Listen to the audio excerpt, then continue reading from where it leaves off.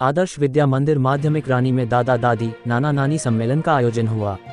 रानी आदर्श विद्या मंदिर माध्यमी रानी में दादा दादी, नाना नानी सम्मेलन का आयोजन आदर्श शिक्षा संस्थान के जिला उपाध्यक्ष नथमल गांधी के सानिध्य में हुआ। कार्यक्रम के मुख्य वक्ता राधा कृष्ण साथी, विशिष्ट अतिथि शिक्षाविद नेनाराम ददवर थे। कार्यक्रम की अध्यक्षता शिक्षाविद सुजाराम चौधरी, रानी गाँव ने की प्रश्नोत्तरी कार्यक्रम का आयोजन हुआ। मुख्य वक्ता राधा कृष्ण साथी ने कहा की बालक के सर्वांगीण विकास में दादोसा दादोसा नानीसा नानीसा की महत्वपूर्ण भूमिका होती है। इस अवसर व्यवस्थापक गोविंद लोहार, कोषाध्यक्ष मदन लाल वैष्णव, विशन सिंह राठौर, धल सिंह राजपुरोहित, छोटू सिंह राजपुरोहित, कपूराराम प्रजापत, डूंगर सिंह रानी गाँव प्रधानाचार्य गोविंद वैष्णव सहित आदर्श विद्या मंदिर में अध्ययनरत भैया बहनों के दादा दादी नाना नानी मौजूद थे।